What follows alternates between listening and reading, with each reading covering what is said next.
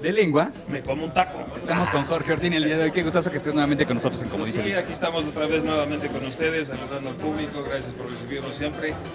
Y pues sí, aquí estamos con, pues con esta historia, ¿no? Que, que la juventud que anda ya loca ahora sí.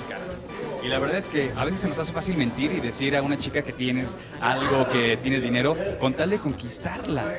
Sí, sí, sí, sí, sí, desafortunadamente sí de repente mientes por, por querer conseguir algo que en realidad pues yo creo que a veces ni lo mereces, ¿no? Ni lo mereces y creo que a veces no vale la pena. Porque ya la, la juventud ahorita se ha vuelto un poco fría, se ha vuelto más, más en lo que es el manejo del dinero, eh, en, qué tengo, qué, qué compro, qué puedo obtener y todo. eh, Pero tanto hombres como mujeres están buscando mucho ya la conveniencia. Y creo que han perdido lo que son los sentimientos, lo que es una persona, el interior de las personas, y lo que es, pues ahora sí lo que es la palabra amor, cariño, entendimiento, convivencia. Tienes toda la razón, caray. Cuéntanos de qué trata tu personaje en esta historia. Pues aquí estoy ahorita, ahora sí que soy dueño de, uno- de una taquería. Hombre, qué delicia. El olor. Sí, sí, sí, el olorcito es sabroso, algo que pues le molesta a mi hijo.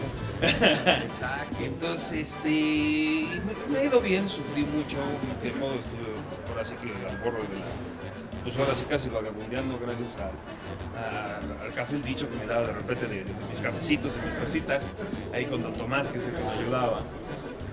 Y este, y después pues, me fue bien con la taquería, pero mi hijo fue el que cambió y entró a un a un estatus en realidad que es el que, el que no tiene. Que lo Y hace perder el piso. Pierde el piso totalmente. Y, y- y se lleva una gran sorpresa que, que- que- que- yo creo que es lo que lo hace entender. Yo creo que la juventud necesita tener, creo que esos grandes golpes que, mira, tanto los cuidamos, queremos que no les pase nada. Pero yo creo que la verdad de repente a los hijos hay que decirles, órale, date los frentazos porque parece que te los quieres dar. Oye, tienes toda la razón. Muchísimas gracias y no nos vamos a perder este dicho. No, aquí estamos, de lengua me como un taco. Pues ya lo saben, no se pierdan este y todos los dichos por las estrellas. Saludos.